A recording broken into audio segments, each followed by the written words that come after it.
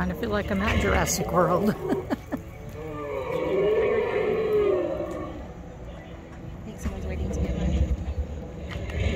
I'm almost done.